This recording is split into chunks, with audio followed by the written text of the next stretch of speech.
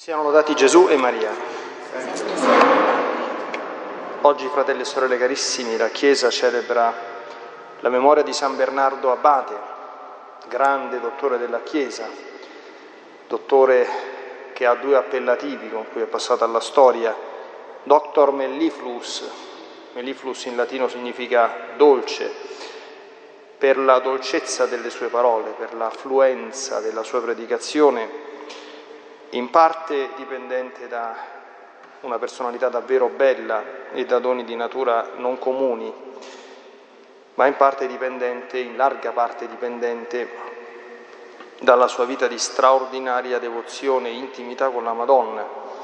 San Bernardo ha ricevuto delle grazie quasi uniche, straordinarie, mistiche da Maria Santissima che davvero eh, fu sua intima, vicinissima, eh, sua maestra, cioè tutto quell'oceano di amore di Dio di cui parla il Vangelo e adesso, su cui tra poco volgeremo l'attenzione, lui lo ricevette tutto quanto attraverso quel canale assolutamente soavissimo e sublime che è il canale della Madonna.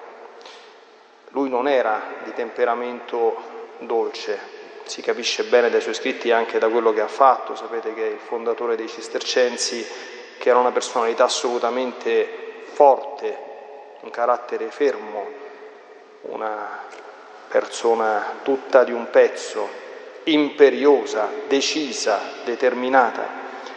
Ecco, ma ebbe una trasformazione davvero profonda, quindi senza perdere nulla di queste che se ben vissute sono certamente caratteristiche care al Signore, molto utili per la sua gloria e per il bene della Chiesa, ma tutto trasformato dentro questo crogiolo santo e benedetto dell'amore. Per questo, oltre che Dr. Melliflus, lui è chiamato anche Dr. Marianus, è stato uno dei grandi assertori di tutti quanti i principali privilegi della Madonna, di cui era difensore strenuissimo. Tenete presente che è vissuto nell'undicesimo secolo, quindi in tempi in cui Oggi noi viviamo nel XXI secolo, sono stati fatti il dogma dell'Immacolata Concezione, dell'Assunzione ai tempi di San Bernardo, queste cose non c'erano, ma lui era decisamente favorevole a, ad una presentazione di una Mariologia bella e forte, che vedeva Maria fortemente unita al mistero di Cristo e quindi in una posizione del tutto singolare all'interno del popolo di Dio. Quella famosa immagine che si usa in Mariologia, sapete, c'era la questione, dice, ma la Madonna è al di sopra o dentro la Chiesa? Eh, era una grande questione. E San Bernardo disse, tutte e due. San Paolo ci ha detto che Cristo è il capo del corpo che è la Chiesa e la Madonna è il collo della Chiesa, cioè è tra la testa e le membra. Quindi il collo appartiene alle membra, ma senza il collo non c'è il raccordo con la testa. È un'immagine bellissima perché che Maria è mediatrice, che Maria è avvocata, si capisce proprio attraverso questa immagine, no? Tutti quanti i nostri centri nervosi, tutti quanti i comandi che io do alle mie mani arrivano alla mia mano attraverso, lo sappiamo, tutte quante le ramificazioni nervose che vanno dalla testa, dal cervello attraverso il collo in tutto il corpo. No? Un'immagine molto molto bella. Ecco, quindi questo è il grande San Bernardo. Nella prima lettura abbiamo sentito l'elogio dell'uomo sapiente. Chi è che può diventare un grande sapiente? Bisogna andare in tutte quante le facoltà ecclesiastiche, possibilmente pontificie, a prendere baccalaureati, licenze, dottorati per diventare sapienti? No. Se si prendono questi titoli si diventa uomini di scienza, certo scienza divina se sono le scienze teologiche, ma non necessariamente sapienti. Il sapiente è chi conosce Dio con una conoscenza intima e profonda e che per quanto è possibile alla nostra umana natura comprende il suo modo di pensare per quanto possibile all'umana natura. Chi è che raggiunge questa sapienza? Non il dotto, ma il santo. Ecco perché abbiamo sentito dire così agirà chi teme il Signore, prima lettura, chi è fedele alla legge otterrà la sapienza, ma è la legge dell'Altissimo. Se vuoi diventare sapiente, come disse anche Gesù al giovane ricco, intanto comincia ad osservare bene i comandamenti, perché la prima decodificazione della sapienza divina a noi è il cammino della vita dei comandamenti. L'antifona al Vangelo che ci introduce al mistero grande che San Bernardo ha vissuto e insegnato. Dio è amore, se ci amiamo a vicenda Dio rimane in noi e il suo amore in noi è perfetto. In che cosa consiste per un cristiano il culmine della santità? Questo lo diceva anche San Tommaso d'Aquino, che è vissuto qualche tempo dopo San Bernardo, e anche lui un grandissimo dottore. La santità non è altro che in tre parole, perfezione della carità, intendendo con carità non certamente il nostro modo comune insomma, di intendere questo termine, no? tipo la carità che si fa a un bisognoso che incontriamo per strada. La carità è la carità con la C maiuscola, in latino la caritas, in greco l'agape, cioè l'amore di Dio e l'amore del prossimo.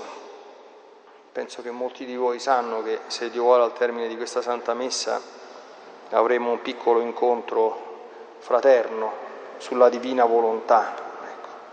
Vedremo una cosa molto semplice che la divina volontà, per comprendere bene la divina volontà bisogna cominciare a entrare profondamente, non come un qualche cosa di sentito dire, nel mistero di Dio amore. Pensate a un'espressione che Gesù usa, no?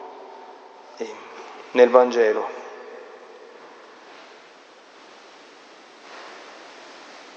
Io in loro e tu in me. Attenzione, eh? io in loro e tu in me. Pensiamo che per chi farà la Santa Comunione tra poco questo mistero dell'io in loro eh, diventa veramente reale, no? Attenzione perché siano perfetti nell'unità e il mondo sappia che tu mi hai mandato e li hai amati come hai amato me. Fermiamoci cinque secondi un bel respiro. Cioè, il Padre ama me come ama il Figlio suo eterno, con un amore della stessa intensità. Domanda, poi chiudiamo perché a queste domande poi chi resterà cercheremo di trovare una risposta.